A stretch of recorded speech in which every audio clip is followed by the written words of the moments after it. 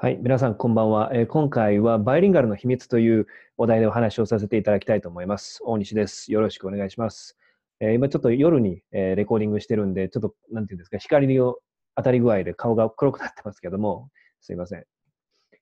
えーじゃあ、まあ、このバイリンガルっていうふうな話をする前に、この単語の意味って何ですかってことですよね。でバイリンガルっていうのは英語で、まあ、こういうふうに、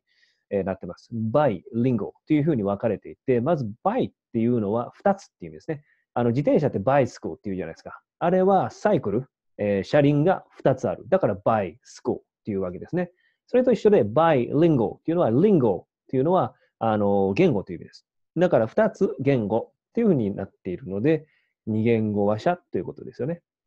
これがバイリンガルの元々の意味ですと。で、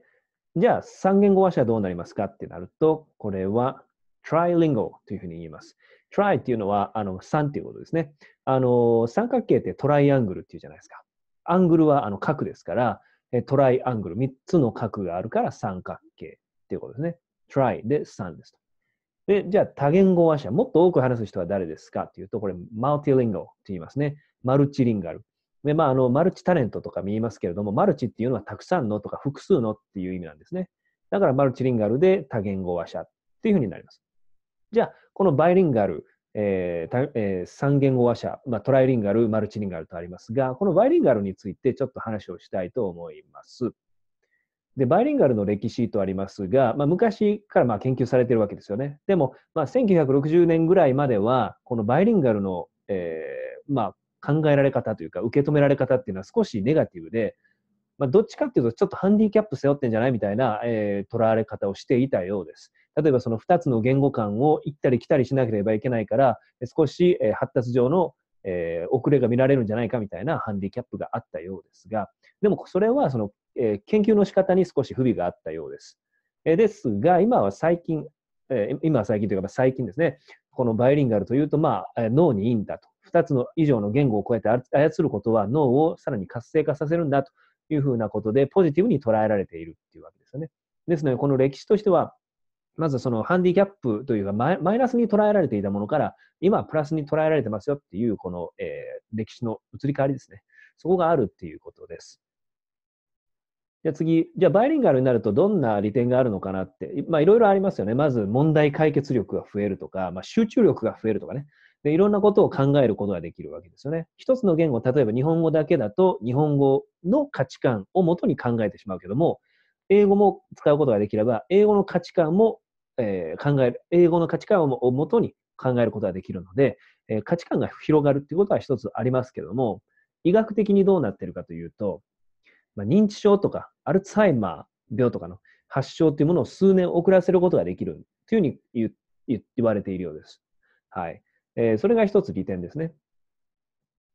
では次、えーこの第二言語、まあ、僕た僕たちにとってまあに英語だったりしますけれども、それを習得するのに、えータイムリミットでないのっていうことですよね。これが実はその臨界期仮説というふうに呼ばれている話で、まあ、臨界期っていうのはクリティカルピリオドっていうふうに英語で言うんですけれども、このクリティカルっていうのは要は重要なとか決定的なっていう意味ですよね。でその決定的な時期っていうのがまあこの仮説にあたるわけですが、いつ頃までに外国語、第二言語を習得し始めたらいいのかっていうことは、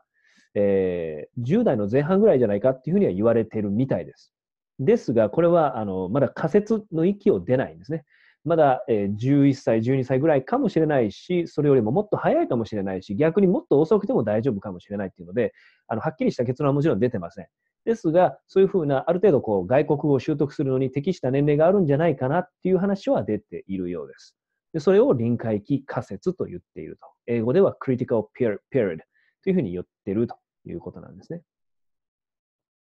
で、最後に、えバイリンガルと性ということで、男性、女性、バイリンガルが多いのはどっちかなとかに考えたことがありますかね、皆さん。で私、実は、え外国語大学に行っていたんですけれども、その外大には実は女性が非常に多いんですよね。大体7割ぐらいがもう女性ですと。で男性は3割ぐらいになるんですけど、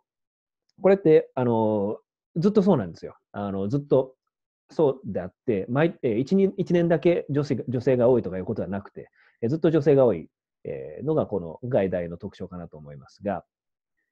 その理由って何かなって考えたときに、えー一つね、昔本を読んだことがありまして、えーなんていうか鼻を、死を聞かない男、地図が読めない女っていうふうな、えー、本を読んだことがあるんです。でそこに、えー、昔々の私たち人間が狩猟時代、狩りとかをやってた時代の話を書いてたんですね。で、そこで男性っていうのは狩りをしなきゃいけないと。だから、えー、獲物を狙わないといけない。なので、ここから何メートル先に獲物がいるかみたいなのをすぐに把握できるような、えー、なんていうんですか、空間的な把握能力が必要だって言われてるんです。だから男性は少し理系が強かったりするっていうふうに言われるんですね。でも女性の方は、えその家で、え家族を守って、で他の、え家族の人々とうまくやっていかなきゃいけない。だからコミュニケーションしなくちゃいけない。そのコミュニケーションっていうのは言葉を通じてやっていかなきゃいけないっていうので、コミュニケーションが強い。言語を使うのが強い。だからバイリンガルが多いっていうふうな話を聞いたことがあります。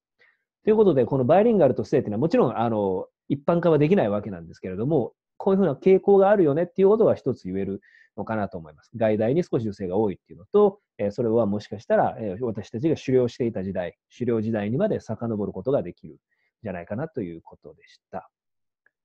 はい。ここまでのお話なんですけども、えー、参考文献があります。これ非常に面白かったのが TED-ED ですね。TED の、まあ、教育版の、えー、動画を配信しているんですけれども、YouTube で。で、その中でバイリンガルの脳が持つ利点という面白い、えー、動画がありました。えっとね、5分ぐらいの動画だったんですけど、非常に面白いことが書かれてます。で、そのアルツハイマー、えー、あと認知症の発症を遅らせることができるっていうのも書いてましたし、バイリンガルが昔はハンディキャップだったというふうに捉えられている話も書いてました。えー、言っていました。で、もう一つが先ほどの狩猟時代の話を言った、えー、話を聞かない男、地図が読めない女というアラン・ピーズ、バーバル・ピーズという方が、えーえー、書かれた本があります。このあたりを参考文献として今回載せておきます。はい。以上で今回バイリンガルの秘密という話をさせていただきました。ありがとうございました。